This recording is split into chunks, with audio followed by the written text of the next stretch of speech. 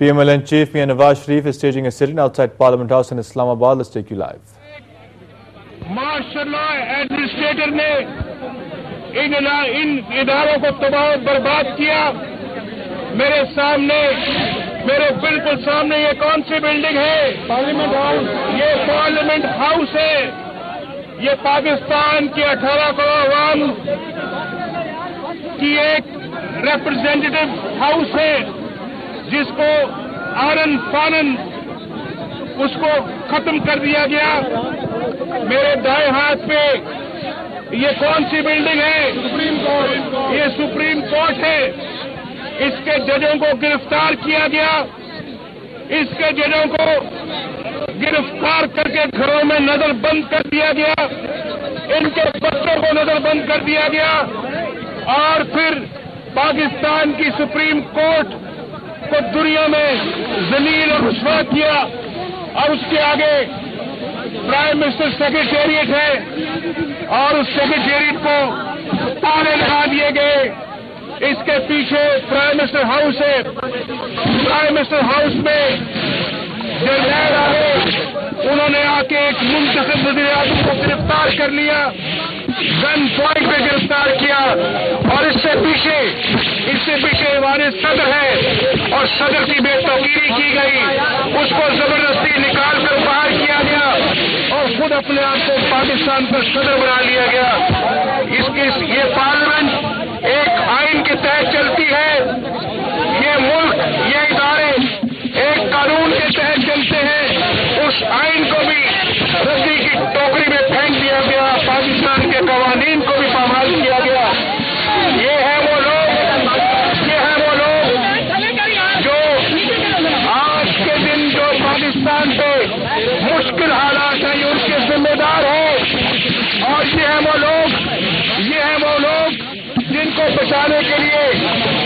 بچانے کے لیے زرداری صاحب اور ان کی حکومت نے سر توڑ کوشش کی ہے۔ اور یہ ہے وہ لوگ جس میں زرداری صاحب نے ہمیں کہا بجائے اس کے کہ ان کا مقدمہ کورٹ میں چلتا، بجائے اس کے کہ ان کے خلاف ریفل فائل کیا جاتا۔ ان کو یہیں پر یہیں پر ان کو گارڈ آف آنر پیش کیا گیا۔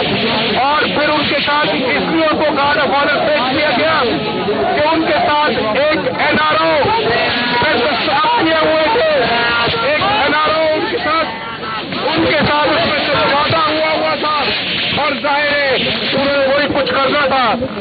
کے این آر او کی شرائط کے مطابق تھا۔ اور آپ سب اچھی طرح جانتے ہیں، آپ سب اچھی طرح جانتے ہیں کہ اسی اسی شخص کے خلاف ایک، اس کو اس کو ہائی پوزیشن میں اس کا مقدمہ کرنا چاہیے تھا۔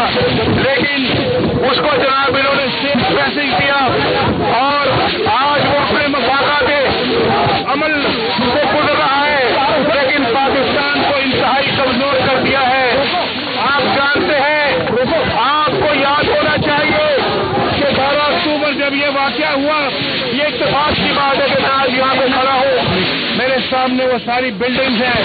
میرے سامنے یہ عمارتیں ہیں۔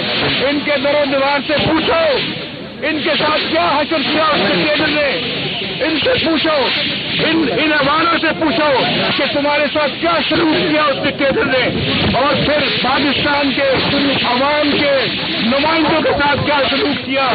دو دفعہ دو دفعہ مارشل اللہ لگانے والے ڈکٹیٹر نے ملک کے ساتھ کیا سلوک کیا؟ یہ سب اگر چیزیں ہم بھول جائیں گے، ہم مستقبل میں ہم مستقبل کے اندر بھی گھومتے رہیں گے، ہمیں راستہ نہیں ملے گا۔ لیکن ان چیزوں کو یاد رکھنا چاہیے۔ اور میں آپ کو یہ بتانا چاہتا ہوں کہ یہ یہ سامنے ایوان میں بیٹھے ہوئے صدر اور وزیر اعظم نے آج پاکستان کو جس جو پاکستان کا حشر کر دیا ہے، پاکستان کی تاریخ میں اس کی مثال نہیں ملتی۔ کرپشن جو ہے کرپشن جو ہے وہ آج انپریسیڈینٹڈ ہے، جس کی تاریخ میں کوئی مثال نہیں ملتی۔ اور پھر پاکستان کو دیکھیں وہ، پاکستان کو جو موجودہ حال ہے، وہ آپ سب کے سامنے ہے۔ بے روزگاری انتہا پر ہے۔ اور پیسے جان سے زیادہ ہو چکی ہے۔ پاکستان کے اندر عوام کا سینہ دوبر کر دیا ہے۔ ان کی راتیں تاریخی میں گزرتی ہیں۔ دن میں بجلی نہیں ہوتی۔ پاکستان کی انڈسٹری بند ہو رہی ہے۔ گیس نہ آنے کی وجہ سے گھروں میں چولہے بند ہو رہے ہیں۔ اور پھر مہنگائی اتنی ہو چکی ہے کہ لوگوں کے بس سے باہر ہیں۔ لوگ چیخ چیخ کر پکار رہے ہیں کہ یہ کیا حکومت ہے۔ لیکن آپ کو میں اور پھر کراچی کا جو حال ہے، کراچی کے حال سے آپ باخبر ہے۔ اور اگر کراچی کے اندر اگر اصلاحی اقدامات نہ کیے گئے کریکٹر میجرز نہ لیے گئے، کراچی میں مجرموں کی پشت پداہی ختم نہ کی گئی، مجرموں کو سزا نہ ملی، تو آپ جان لیں، آپ یقین کریں کہ کراچی خدا رخواستہ پھر اسی حال سے دو چار ہو سکتا ہے۔ لیکن کراچی میں سپریم کورٹ نے سپریم کورٹ نے جو اپنی اپنے فیصلے میں جو کہا ہے، جو ان کی آبزرویشن ہیں، اس پہ لکھا ہوا ہے کہ یہ جو تمام کرمنلز ہیں، یہ جو مجرم ہیں، جن کی انہوں نے نشاندہی دکھی ہے ان بریفنگ میں، جو ان کو دی گئی بند کمرے میں، اور یہ کہا کہ ان کے خلاف ریفرنس فائل ہونے چاہیے۔ اور میں، ہم دیکھ رہے ہیں، ہم دیکھ رہے ہیں کہ کب یہ حکومت ان کے خلاف ریفرنس فائل کرے گی۔ نثار علی خان صاحب خواجہ صاحب، آپ بھی سن لیں، میرے دائیں بائیں کھڑے تمام پارلیمنٹیرین پارلیمنٹیرین میری بات سن لیں۔ آپ کاؤنٹ ڈاؤن شروع کریں اور آپ وہ دن گننے شروع کر دیں کہ یہ ریفرنس دائر ہوتے ہیں یا نہیں ہوتے۔ اگر نہیں ہوتے تو پاکستان کے عوام کو بتانا ہوگا۔ ان کو جگانا ہوگا، خود کراچی کے عوام کو بتانا ہوگا۔ کہ یہ آپ کی زندگیوں کے ساتھ کھیل رہے ہیں۔ آپ نے کتنی جانے یہاں پہ کراچی کے اندر۔ پچھلے ڈھائی تین سال میں سنا تین ہزار جانے ضائع ہوئی وہ تین ہزار خاندان، وہ کن کے سبوت ہیں؟ کن کے ماں باپ ہیں جو مارے گئے ہیں؟ میں سمجھتا ہوں ان کے ساتھ سخت نا انصافی ہے۔ اور پھر اور آپ جانتے ہیں کہ ابھی جہاں پہ پی سی ہوئی ہے۔ آل پارٹیز کانفرنس ہوئی ہے۔ اس کے اندر ہم نے ایک سیر حاصل گفتگو کی۔ اس کے نتیجے میں ایک ریزولوشن پاس ہوا اور اس ریزولوشن نے اس ہاؤس کے اندر آنا ہے۔ اس ایوان میں آنا ہے۔ اس پہ ڈسکشن ہونی ہے۔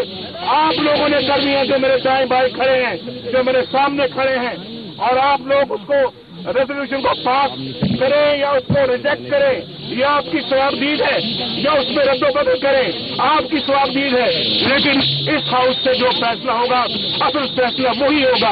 پاکستان کا اصل فیصلہ، پاکستان کے عوام کا اصل فیصلہ وہی ہے۔ لیکن میں آپ کو بتانا چاہتا ہوں، ایک وہ دن بارہ اکتوبر تھا۔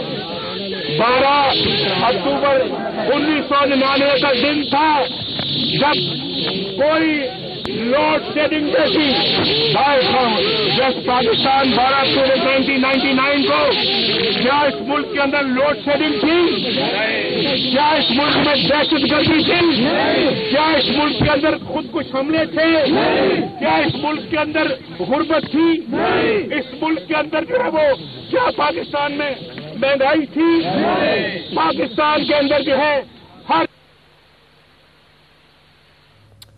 ہر and Chief Mia Nawaz Sharif leading a sit-in outside the Parliament House.